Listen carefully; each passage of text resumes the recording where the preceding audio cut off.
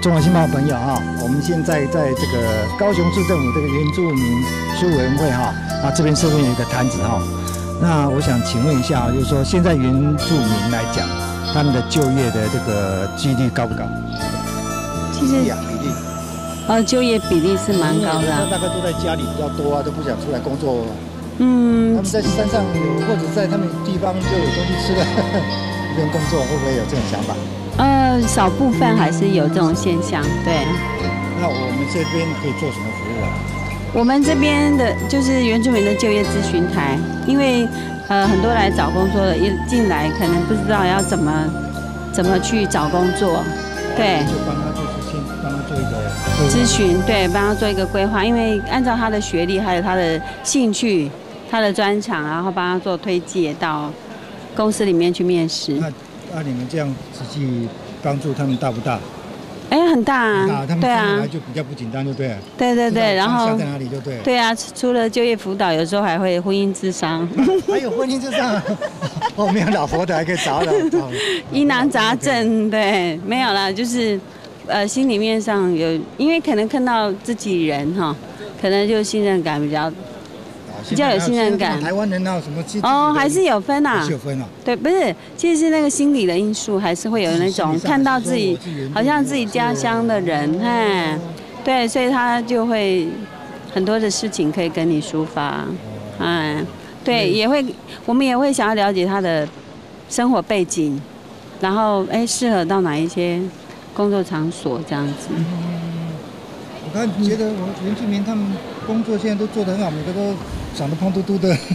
哦，哎对啊，因为那个在在山上居住比较悠闲，对啊，我去对比较悠闲每个都喝喝酒、唱唱歌，哇，很幸福嘞。对啊，因为你就想嘛，在台北的那个生活环境是非常紧张，可是越东部的话，生活比较缓慢。哦，就步调对，因为步调很慢，生活也很缓慢，因为在山上也没什么工作嘛。对啊，大家都喜欢那种家人的群聚的感觉。对啊，没有工作就大家聚在一起啊。那、你们这个什么什么什么三 H 计划是什么？是不是可以跟我们讲一下？哦，这是我们今年度的行政院原民会的一个专案计划哎。对，这个三 H 就是呃 happy 嘛，快乐。哦，嘿，health 是健，嗯哎，health 帮助 health 健康，还有 hope 希望。对，我们今年度这样的一个家里这样。啊，当然不是，对，啊，我们就是希望说他们在就业上，我们有许多的这样的一个执行的计划，可以帮助原住民的就业率可以更高。哦，那你做帮他们做很多事情呢，这一定要的啊。真的吗？对啊，因为我们还是大部分都还很弱势，就像你看到我们都胖嘟嘟的，然后很悠闲，啊，那他他需要一些心理建设。对，哎，哎心理，先生，你呀心理先生。当然要，因为他们在学历上还是比一般。我觉得现在有的那少部分啊，你们看到的在都市的当然学历比较高，那是少部分。其实以以整个原住民整体讲哈，普遍还是比较低啊。比较低，公招中高中职的比较少，不比较多，比例占很大。